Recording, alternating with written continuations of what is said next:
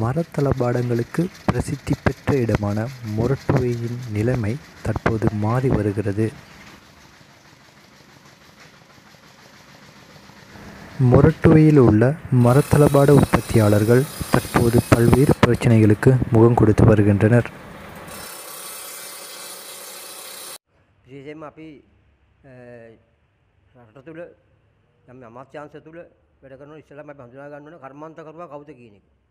සැබෑ කර්මාන්තකරුවා තෝරාගෙන මුරුපේ අද අද වෙනකොට විශාල පිරිසක් ඉන්නවා මේ කර්මාන්තයෙන් යැපෙන. ඒ වගේම මේ කර්මාන්තය තුලින් අපනයන තත්ත්වයට යන්න පුළුවන් විශාල කර්මාන්තකරු කොටසක් ඉන්නවා. අන්න ඒ අයව අපනයන තත්ත්වයට පත් කළා පත් කරාම ඒගොල්ලෝ ආර්ථික තත්ත්වයේ විතර මට්ටමට ගේන්න පුළුවන්. ඒ අතරම මේ ඉන්න කර්මාන්තකරුවන්ට වඩු ගම්මාන අපේ සැලසුම් සහගත කරලා තියෙන වඩු ගම්මාන ආරම්භ කළා.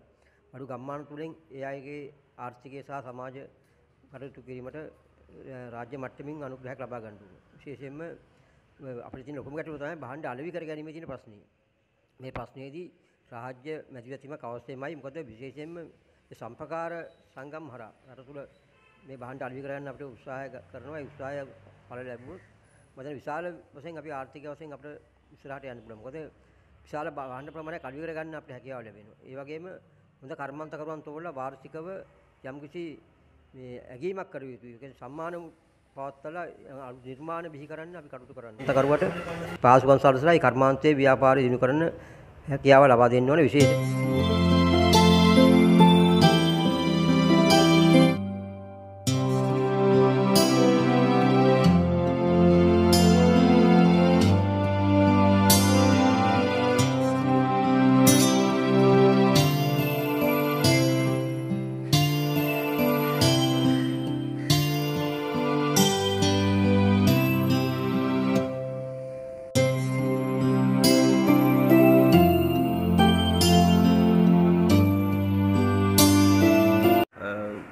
ඒක මේ වෙනකොට අනේ මන්දර මොන හේතුවක්ද කියලා දෙමව්පියන්ගෙන් මේක ඈත් වෙලාද නැත්නම් මේක පරම්පරාවෙන් ඈත් වෙලා යනවද කියන එක මටත් අද වෙනතුරු හිතා ගන්න බෑ. නමුත් මේ කලාව මොකද අපිට අනුරාධපුර පොළොන්නරුව යුගවල තමයි අපිට මේ කලාව පිවිසෙන්නේ.